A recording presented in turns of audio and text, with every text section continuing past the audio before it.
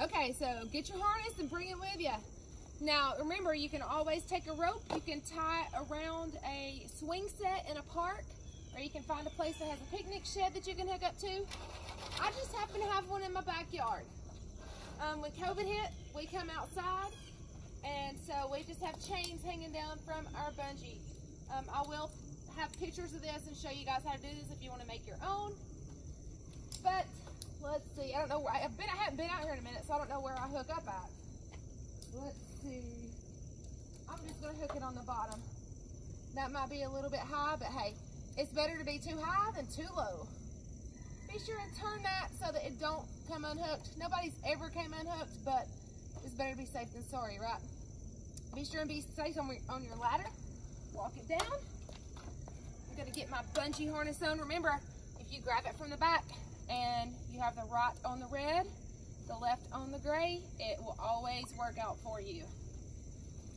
You'll eventually get where you can just kind of step in it. I do have some foam pads on mine. I will put a link in there for you to look and see if you want to get yourself some.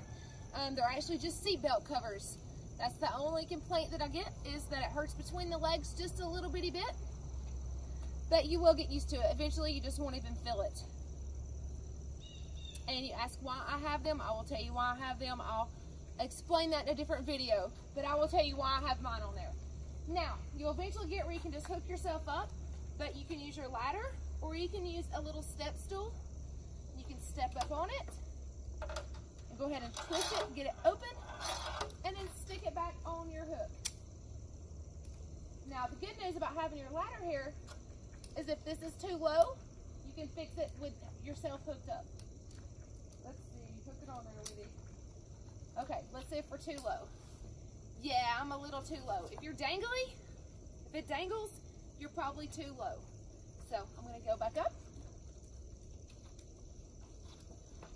Be sure to hang on to your chain or your rope.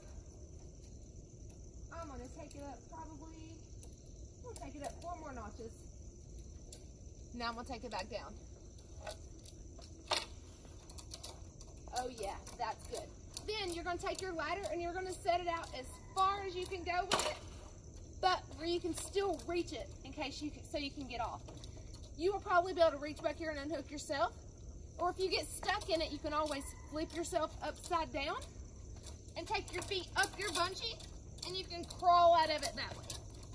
So, make sure you're good and comfy. Make sure your pads are all turned in it's gonna make it more comfortable for you and more enjoyable for you. You will get hot really quick, so be sure and wear some layers if you're outside and it's cool. Um, I do like to tighten up my top a little bit. Once you get on the bungee, the legs are gonna tighten, the waist is gonna loosen. You'll have to push and pull both sides for both, for loosening and tightening.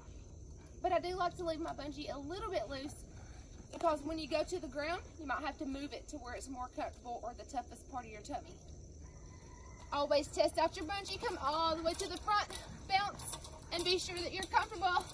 And that is how you hook up your bungee to get yourself started.